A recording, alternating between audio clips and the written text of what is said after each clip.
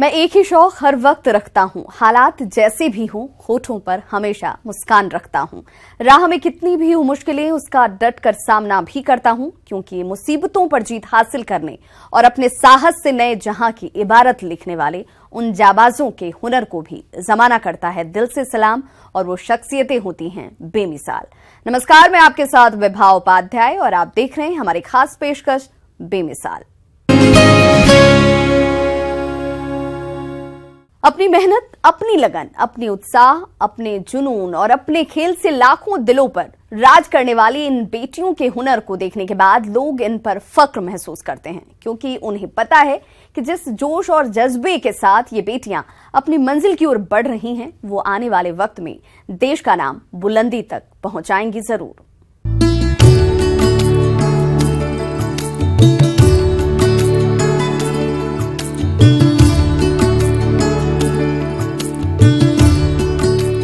ये बनारस है।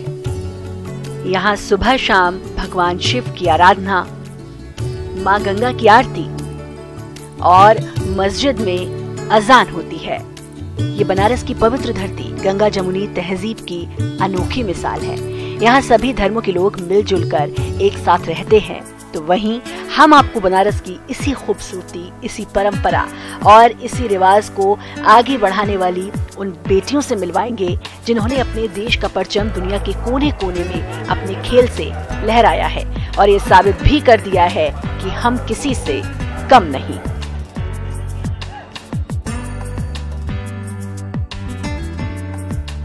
मैं जब छोटी थी और जब स्कूल में पढ़ते थे तो एक होता है ना, जो कॉपी किताबें मिलती हैं, उसमें कवर पेज पे कभी प्लेयर्स की फ़ोटो, कभी स्टेफी ग्राफ की फ़ोटो, कभी पीटर संप्रास की है अर्जुन अवार्ड लेते हुए भी फ़ोटो थी प्लेयर्स की।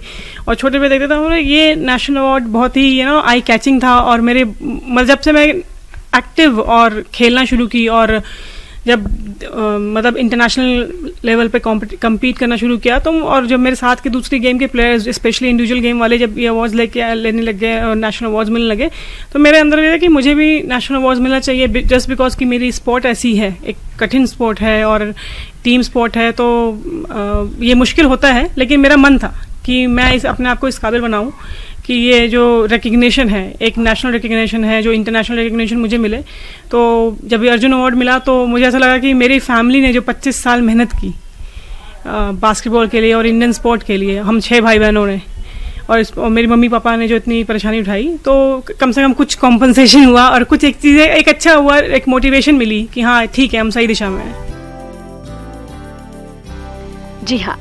प्रशांति अपने भाई बहनों में तीसरे स्थान पर है और उन्होंने पांडु पुत्रों में तीसरे स्थान पर आने वाले अर्जुन की तरह ही अपने लक्ष्य को निशाना बनाया, जिससे प्रशांति को अर्जुन अवार्ड और रानी लक्ष्मीबाई वीरता पुरस्कार से नवाजा गया। कहते हैं, इरादों में भर दो इतनी जान कि हर कामयाबी मंजूर हो जाए। हौसले हो इतने बुलंद कि ज़िंदगी से लफ्ज शिकस्त दूर हो जाए। ज़िंदगी कहाँ मिलती है दोबारा यहाँ? जियो ज़िंदगी इस शान से कि बड़े से बड़ा तूफ़ान भी झुकने के लिए मजबूर हो जाए। जी हाँ इन बेटियों ने अपने जुनून और अपने जज्बे से अपनी कामयाबी की इबारत लिख दी है। वो अपनी ज़िंदगी के हर एक ख्वाब को पूरा करने के लिए शिद्दत से जुटी हुई हैं, जिसका जीता जागता सबूत है दीवारों पर चमकते ये गोल्डन सिल्वर और ब्रॉन्ज के मेडल्स। जो ये तस्दीक कर रहे हैं कि इन बेटियों ने अपने बुलंद इरादों और अपने खेल से कैसे इन्हें इकट्ठा किया है। आपको बता दें कि ये पाँच बहनें हैं, लेकिन किसी तारुफ की मोहताज नहीं। प्रियंका, दिव्या, प्रशांति, आकांक्षा और प्रतिमा। इन पाँचों बहनों को बनारस में लोग सिंह सिस्टर्स के नाम से बुलाते हैं। इन सभी बहनों की खासियत ये है कि इन्होंने देश के लिए बास्केटबॉल खेला है। बहुत जगह गए एशिया के मोस्टली एशिया कंट्रीज़ में देन अमेरिका गई हूँ न्यूजीलैंड ऑस्ट्रेलिया बहुत सी जगह पर जाके हमने बास्केटबॉल खेला भी है और सिखाया भी है। सबसे चौंकाने वाली बात यह है कि इन पाँचों बहनों ने अपने करियर की शुरुआत बनारस के यूपी कॉलेज बास्केटबॉल कोर्ट से की थी। इसकी एक वजह यह भी थी कि ये कोर्ट घर से करीब था। इन पाँचों में सिर्फ़ प्रियंका ने उत्तर प्रदेश स्टेट टीम के लिए खेला है। बाकी सभी बहनों ने अंतर्राष्ट्रीय स्तर पर देश का मान बढ़ाया। प्रियंका अब नेशनल इंस्टीट्यूट ऑफ़ स्पोर्ट्स में बास्केटबॉल कोच के तौर पर काम कर रही हैं। तो वहीं Divya under 16 Indian men's basketball team की कोच हैं। सारे मेरी सिस्टर खेलने जाते थे, सब उनके साथ जाते थे खेलने। तो वहाँ पे एक नाथन सर कोच थे हमारे। वो उनको सिखाते थे, हमने भी खेलना शुरू किया। उन्होंने देखा कि हमारे अंदर टैलेंट है तो उन्होंने हमें सीनियर के साथ खेलना खिलाना शुरू किया। फिर finally SAI sports authority of India के कोच थे अमरजीत सिंह। उन्होंने हमें फाइनली बॉयज़ के साथ खिलाना शुरू किया और वो जाके हमारे घर पे आके, मम्मी पापा से बात करके, उनको कन्विंस करके, उन्होंने पूरा लीड लिया कि बास्केटबॉल में गर्ल्स टीम भी अच्छा कर सकती है। देखिए जब शुरू किया था तो मेरी सबसे बड़ी बहन प्रियंका दीदी खेलती थी यहीं पे बनारस में ही उदय प्रताप कॉलेज में। स्पोर्ट्स अथॉरिटी ऑफ़ इंडिया का सेंटर था। और फिर दिव्या खेलने लग गई। और दिव्या हमारे घर में जो थी जिसने आई सीलिंग ब्रेक की आ, लड़कों में कम्पीट करना शुरू किया उसने। और क्योंकि ज़्यादातर यहाँ पे देखिए मेल डोमिनेंस था। और लड़के लड़कों का पार्टिसिपेशन बहुत ज़्यादा है लड़कियों के कंपैरिजन में। तो उस समय वो खेलती थी और फिर जब वो पहली बार 2000 में टीम के लिए सेलेक्ट हुई इंडियन टीम के लिए तो यहाँ पे पूरा माहौल बदल गया। सिंह सिस्टर्स की जीत पर पूरे देश को नाज है। तो वहीं इनके माता पिता भी इनकी कामयाबी पर गर्व महसूस करते हैं। उनका कहना है कि उनकी बेटियाँ बेटों से कम नहीं हैं। उनकी बेटियों ने देश के अलावा विदेशी धरती पर भी देश का मान बढ़ाया है। नहीं नहीं, अरे उन सबको तो नशा था खेलने का। वो अपने आप को तैयार होकर के टाइम से पहले ही निकल जाते थे सब। ग्राउंड पे जाने के लिए पहले ही तैयार हो जाती थी। अब मेरा काम ये था, ये लोग जैसे सुबह प्रैक्टिस पे जाती थी फिर आ करके फिर मतलब नाश्ता पानी करके फिर कॉलेज जाती थी स्कूल चली जाती थी। फिर वहाँ से फिर ग्राउंड पे मतलब मैं दिन भर इन लोगों के कपड़े जूते सब समेटती रहती थी। अब दिन भर मेरा कैसे निकल जाता था मुझे पता नहीं चलता था। अब कैसा लगता है? खुशी होती है। हाँ हाँ बिल्कुल काम भी खुशी होती है और फिर आज इन लोगों की मेहनत का फल मिला है तो ये बहुत बड़ी उपलब्धि है। हमारे लिए भी इनके लिए भी। स्पोर्ट्स के लिए पेटेंट दिया गया। पास में ही यूपी कॉलेज था और मॉर्निंग इवनिंग हम लोग जाते ही थे। तो हम तो थोड़ा दूर दूर पदस्थापित थे बैंक के काम में। तो सुबह शाम भेंट होती थी बच्चों से। कभी कभी वीकली भेंट होती थी। लेकिन आ, मेरी धर्मपत्नी ने इन, इन सबों को वेल केयर्ड किया। इसमें दो नहीं। और बच्चे हमारे अनुशासित थे। अपने जज्बात और हौसले के पंख से आसमान को छूने की ललक तो यूँ कम लोगों के दिलों में ही होती है। लेकिन अपने हुनर और जुनून से देश के अलग अलग हिस्सों में जाकर अपने खेल से लोगों को अपना मुरीद बनाने वाली इन सिंह सिस्टर्स पर पूरे देश को फक्र है। बेमिसाल के लिए वाराणसी से नीतीश पांडे के साथ bureau report, news eighteen team. बेमिसाल, बेहिसाब बेनतहा बेशुमार हौसले के भरोसे, ऊँची उड़ान भरने वाले कभी आसमान का कद नहीं देखते। वो सिर्फ़ अपने ख्वाबों को पूरा करने और अपनी मंजिल को पाने की जिद के लिए आगे बढ़ते हैं। रुकावटें कितनी भी हों राहों में, वो उसका डटकर सामना भी करते हैं, क्योंकि वो हैं बेमिसाल शख्सियत। जरा आप भी देखिए। कौन कहता है कि आसमां में सुराख नहीं हो सकता? एक पत्थर तो तबीयत से उछालो, यारो। जोश और जुनून की यही कहानी लिखने में मशगूल हैं मिथिला के नर्मदेश्वर झा। वैसे तो इनके पास काबिलियत भी है और जुनून भी। इनके भीतर लगन भी है और कार्य करने की क्षमता भी। जी हाँ अपने बुलंद इरादों से पढ़ाई करने वाले और अपने जीवन में सफलता की सीढ़ियों पर चढ़ने वाले। नर्मदेश्वर कभी पीछे मुड़कर नहीं देखे, क्योंकि उनका जुनून ही उनकी ताकत थी। जिसके माध्यम से ही वो आज पीएम के ड्रीम प्रोजेक्ट की टीम में शामिल हुए हैं। जिसके बाद पूरे परिवार में खुशी का माहौल है। घर परिवार वाले एक तरफ़ खुशियाँ मना रहे हैं तो वहीं नर्मदेश्वर पीएम के ड्रीम प्रोजेक्ट में शामिल होने पर गौरवान्वित महसूस कर रहे हैं। हम लोगों को इतना खुशी है जो हमारे परिवार इतना गरीबी में, ये बच्चा जिस तरह नाम किया है वो सारा गाँव अभी हर्ष के साथ हँसी खुशी में कहते हैं, देखिए, कितना वो पढ़ाई में बच्चा ध्यान दिया, जो इतना भारी सपना को साकार किया। क्या है बुलेट ट्रेन इसकी नींव कब पड़ी और कब ये आम आदमी के बीच पहुंचेगी? इन तमाम सवालों के जवाब भी आपको मिलेंगे। और ये भी बताएँगे कि कितने किलोमीटर की दूरी, कितने समय में हम तय कर सकते हैं। आपको बता दें कि बुलेट ट्रेन की ज़्यादातर फंडिंग जापान से लिए जाने वाले 17 बिलियन डॉलर्स यानी करीब एक हज़ार अट्ठासी अरब रुपए के कर्ज से होगी। इससे 500 किलोमीटर की यात्रा करने में अभी लगने वाले आठ घंटे का समय घटकर तीन घंटे का रह जाएगा। 750 सीटों वाली इस ट्रेन के अगस्त 2022 तक चलने की उम्मीद है। बुलेट ट्रेन अहमदाबाद को मुंबई से जोड़ेगी। पूरी दूरी तय करने के दौरान बीच में 12 स्टेशन पड़ेंगे। ज़्यादातर रास्ता ज़मीन से ऊपर, यानी कि एलिवेटेड होगा। सात किलोमीटर हिस्सा समंदर के नीचे बनी सुरंग से होकर जाएगा। ट्रेन में 750 यात्रियों के बैठने की सुविधा होगी। इसकी अधिकतम गति 350 किलोमीटर प्रति घंटा होगी। जो भारत की सबसे तेज चलने वाली ट्रेनों की स्पीड से दो गुनी से भी ज़्यादा होगी। जी हाँ बिहार के मिथिला के रहने वाले तेज तर्रार नर्मदेश्वर अपने बेमिसाल हौसले से कामयाबी की इबारत लिखने को तैयार नज़र आ रहे हैं। और उसके बाद देश के प्रधानमंत्री के सपने को साकार करने वाली टीम में चयन के बाद उनकी बूढ़ी दादी की आँखों की रोशनी की चमक बढ़ चुकी है।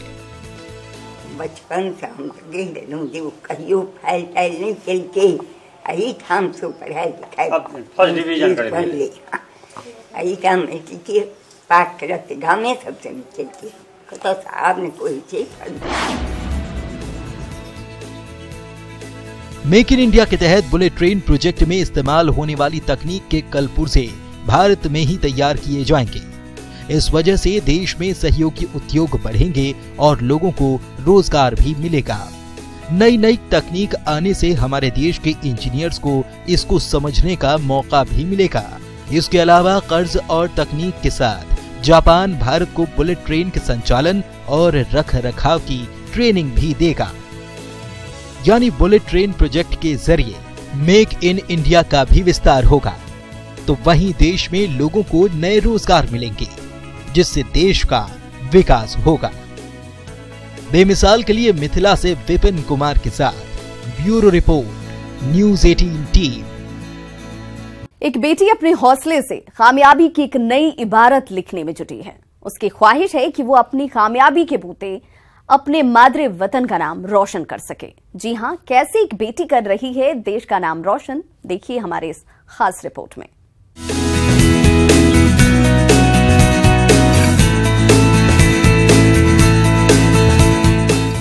आज हम आपको मिलवाते हैं एक ऐसी बेमिसाल बिटिया से, जो अपने हुनर से कामयाबी की इबारत लिखने में तल्लीनता से जुटी हुई है। इसके इरादे इतने मज़बूत हैं कि वो इस बिटिया को उसके मंजिल तक पहुँचाने की कवायद में जुटे हुए हैं। आइए आपको भी रूबरू करवाते हैं छोटी उम्र में बड़ा कमाल करने वाली इस बिटिया से। आपकी उम्र कितनी है और आपकी उपलब्धि क्या है? इतनी छोटी उम्र में आपने कैसे पढ़ाई की? मेरी आ, दस साल के उम्र में मेरी टेंथ क्लास हो गई है और आ, उसमें मुझे 8.8 जीपीए मिला और आ, आ, मुझे मैथ्स एंड साइंस में ए वन ग्रेड मिली थी। इसलिए मैं एमपीसी स्ट्रीम में इंटरमीडिएट पूरा की। आ, मुझे 89 89 परसेंट मिला था। आ, और गवर्नमेंट से परमिशन लेके मैं इंजीनियरिंग भी पूरी की अब। क्या बचपन से ही पढ़ाई करना अच्छा लगता है? मेरा आ, तीन साल के उम्र में मैं आ, ये पोएम्स और कंट्रीज़ कैपिटल्स ये सारे मेमोराइज कर कर लेती थी। तो आ, ये देख के मेरे पेरेंट्स ने मुझे इंकरेज की और मुझे फोर इयर्स में फोर्थ क्लास के सब्जेक्ट समझ पाती थी मैं। वैसे मैं टेन इयर्स की, मैं टेंथ क्लास फिनिश कर पाई थी। और आपके दूसरे क्वेश्चन में जो खेल कूद वो बात है, मैं मैं सब लोग सब बच्चे के साथ खेलती और घूमती थी और मैं हर दिन दो घंटे खेलती थी, पक्का। एग्ज़ाम हो टेस्ट हो, कुछ भी हो, मैं दो घंटे पक्का खेलती थी। कम उम्र में इंजीनियरिंग की पढ़ाई पास करना कैसा महसूस होता है? वो बहुत अच्छी तरह सरप्राइज़ होते थे। आ, कभी भी वो मैं उनकी छोटी बहन की तरह देखभाल करते थे। मैं जब ज्वाइन हुई थी तब मुझे गवर्नमेंट से जीओ आने के लिए फोर्टी फाइव डेज़ लेट हो गया था। आ, तो मेरी मैं बहुत सारे क्लासेस मिस हो गई थी। और वो मुझे एक छोटी बहन के तरह मुझे स्वागत किए और मुझे नोट्स भी दिए सब। अच्छी तरह देखभाल करते थे। और फैकल्टी भी मुझे कभी डाउट आया तो आ, बहुत अच्छी तरह they used to answer me very patiently engineering की पढ़ाई करने का फैसला कब और कैसे लिया? अलेवेंथ और ट्वेल्थ से ही मुझे ये इलेक्ट्रिकल एंड इलेक्ट्रॉनिक्स में बहुत इंटरेस्ट था। इसलिए ही मैं वो ब्रांच चुनी। और जब हमें कुछ भी सब्जेक्ट में इंटरेस्ट हो तो हम उसे बहुत आसान से पढ़ पाते हैं। अगर एक कॉमिक बुक है तो हम उसे उस पर बहुत इंटरेस्ट मन लगा के पढ़ते। तब हमें वो वैसे ही याद हो जाएगा। हम उसके लिए उतना मुश्किल से काम करना नहीं पड़ता। 16 साल की उम्र में इंजीनियरिंग पास करने के बाद क्या जॉब करने का इरादा है? मेरी अल्टीमेट एम है देश के पावर सेक्टर के लिए मेरी I want to do my best towards the power sector मुझे गवर्नमेंट अगर मेरी अचीवमेंट को देख के रिकोगनाइज करी तो मुझे रिसर्च में जाने के लिए बहुत I am interested to go towards research so I hope the government recognises my efforts पढ़ाई के अलावा आप क्या करती हैं? मुझे डोरेमोन बहुत पसंद है। मैं दिन में एक आधा घंटे से एक घंटा तक पक्का देखती कहीं भी हूँ कभी कभी भी। और आ, मुझे हैरी पॉटर बहुत पसंद है। मैं वो सीरीज़ पढ़ती हूँ। और आ, छोटा भीम देखती थी मोटू पतलू देखती हूँ अभी वैसे। सफलता पाने के लिए कैसे पढ़ाई करनी चाहिए? बच्चे के दिमाग से वेरी होता है पर मेरी आइडिया ये है कॉन्सेप्ट ये है कि जब भी पढ़ना है तो कॉन्सेप्ट समझने चाहिए। वो उसमें जो है वो कॉन्सेप्ट अगर हम समझ गए तो हम अपने ओन तरीके से वो आ, याद कर ले सकते हैं। और ये आ, जो भी है उस पर इंटरेस्ट लगाना दिल लगा के पढ़ना। और ये आ, राइटिंग पार्ट वो थोड़ा कम करना चाहिए क्योंकि अगर इम्पोजिशंस वैसे लिखते रहे तो बहुत ज़्यादा टाइम वेस्ट हो जाएगा। महज 16 साल की उम्र में इंजीनियरिंग की पढ़ाई पास करने वाली ये बिटिया अपने बचपन को नहीं भूल पाई है तभी तो वो मौका मिलते ही TV serial Motu Patlu, Doraemon और कार्टून देखना और साथ में संगीत सुनना नहीं भूलती हैं। यहाँ की बोली में रंगोली सात रंग, धानी पगड़ी पहने मौसम है नीली चादर ताने अंबर है, नदी सुनहरी, हरा समंदर है रे सजीला, देश रंगीला रंगीला, देश मेरा रंगीला, देश रंगीला रंगीला, देश मेरा रंगीला। उम्मीदों की कश्ती को डुबोया नहीं करते, मंजिल दूर हो तो थक कर रोया नहीं करते। रखते हैं जो दिल में उम्मीद कुछ पाने की, वो लोग ज़िंदगी में कभी कुछ खोया नहीं करते। जी हाँ, आपकी मेहनत और लगन की बदौलत आपकी हर छोटी कोशिश को बुलंदी का जहाँ मिले और आपकी कोशिश बन जाए जमाने के लिए बेमिसाल। इसी दुआ के साथ इस खास प्रोग्राम में आज के लिए मुझे और मेरी पूरी टीम को दीजिए इजाज़त। नमस्कार।